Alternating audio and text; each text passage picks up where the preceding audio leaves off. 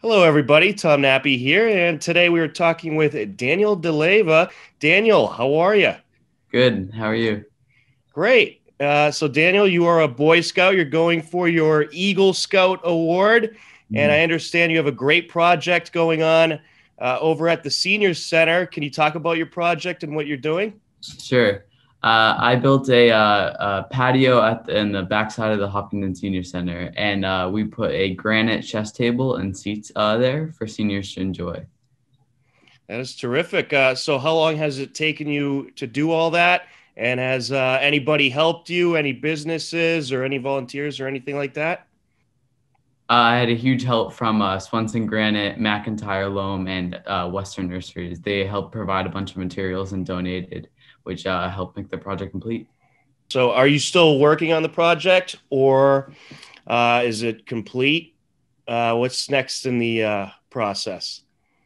Uh, so the project is complete. We completed it around like uh, mid October. So um, it has been done, but the weather not much use in coronavirus. So, but I'm almost done with Eagle.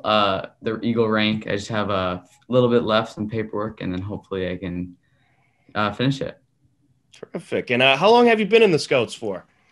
Um, I've been in Scouts for many years. I started as a Tiger Cub in uh, Cub Scouts, so probably around ten years, I'd say. So it's been a long journey. That's excellent. Uh, what are some of your favorite things to do? Uh, like some of your favorite uh, Scout activities? Uh, the trips are awesome. Uh, you, it's new experiences you would never get to experience if you just you were living your normal life. These they provide you so many new ideas and ways to build upon like the world. So it's just stuff I've never got to do before, and it's awesome.